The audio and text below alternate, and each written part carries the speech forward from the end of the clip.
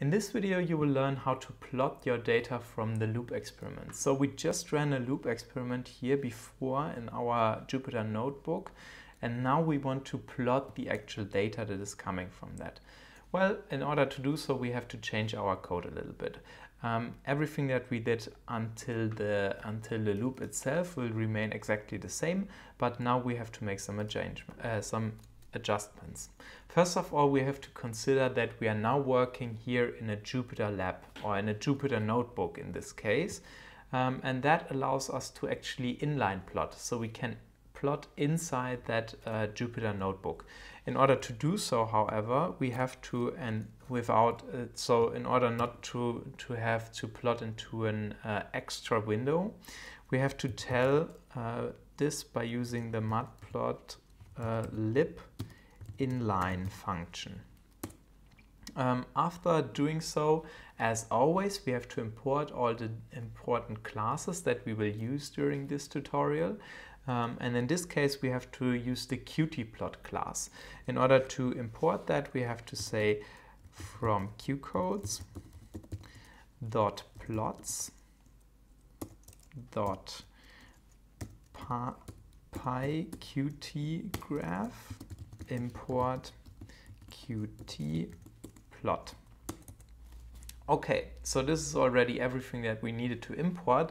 Now let's just copy our loop experiment from above and then we have to uh, actually start writing our routines for plotting. This is very simple.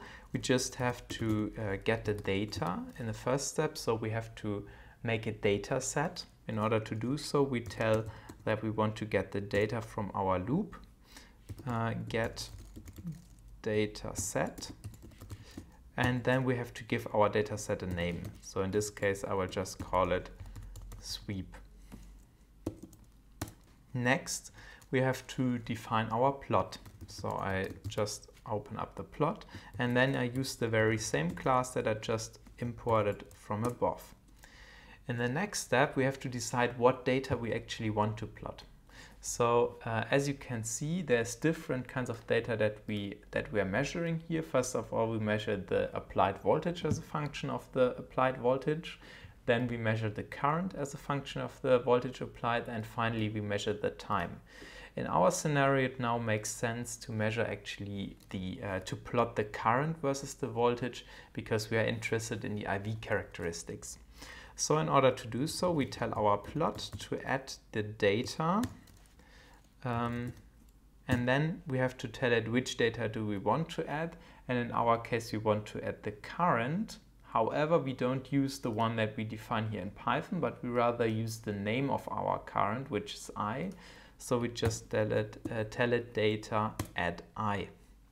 Finally, we of course have to tell our, our loop that it has to run because otherwise we won't acquire any data. And if we do this now, then it will start the run and it will also open up a plot window.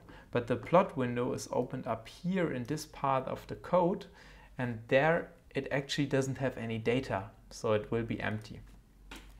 In order to update it after the measurement and to get all the data into our plot, we have to tell it that it has to update all the data. This is being done by just telling it uh, plot.update. And that's basically it. If we run this now, we see that, a, that a new window is being opened up and then uh, the data will be updated. But of course, since we are inside this Jupyter notebook here now, we don't see any plot, but we can just plot it inline by just saying plot and then you will see that this plot is being plotted. And this is our plot. So there are some nice things about this one.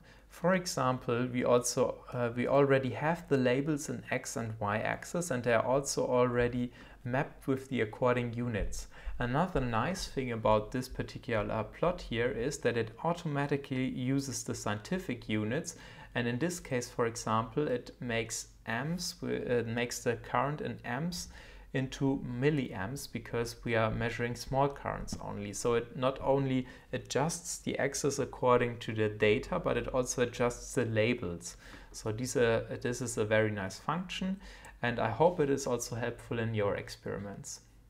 In the next video, we will then talk about how to uh, slightly change our code in order to be able to make a live plot which is being updated during our measurements.